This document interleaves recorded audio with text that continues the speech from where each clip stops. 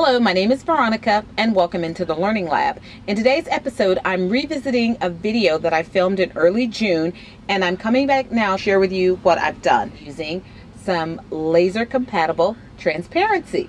So um, without any further ado, come on in and let's get started. I printed it out on a transparency sheet to see if it worked. Again, I use my brother's ScanNCut to cut that out.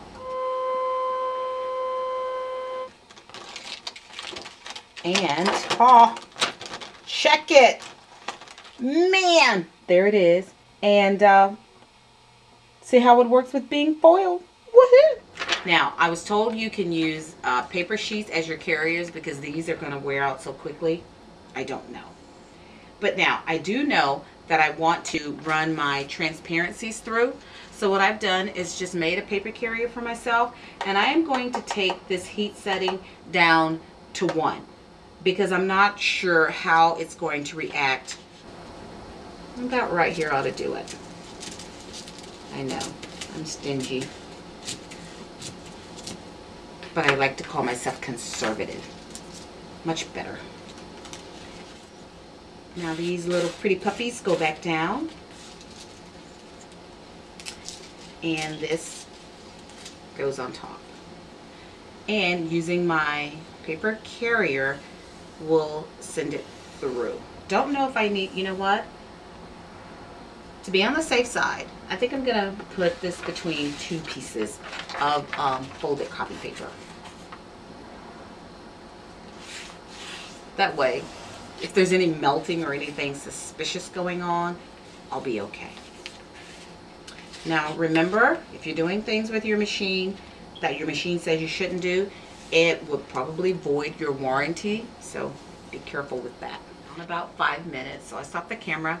But as you can see, it's on one and it, and now this is pretty long, so it's gonna take it a while to go through.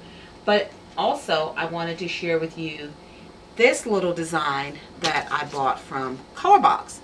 And they are little hearts and they come like glue and you adhere them to your paper and then you can foil on top of them. So I thought, well, let's see if this works with the Minc. Well, I went ahead and pulled them out and cut this little piece apart. And let me just tell you, I had the dickens of a time trying to get this to lift off and bring a clean image with it. But, you know, I got something close to that. So I pulled out a piece of scrap paper that I have and we'll put our heart on there. Then you burnish this into it. And then you gently lift it off. And according to the directions, I should be able to foil it, glitter it, and do all manners of things with it.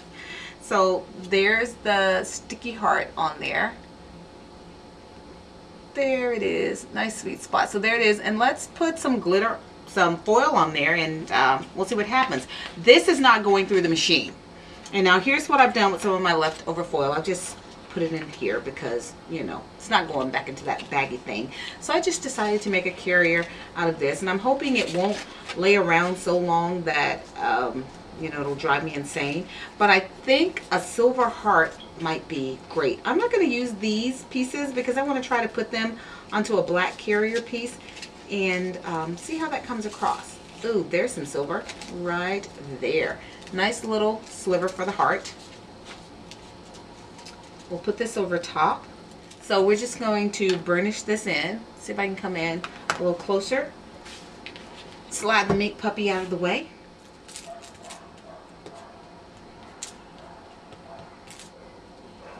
So let's do the unveiling.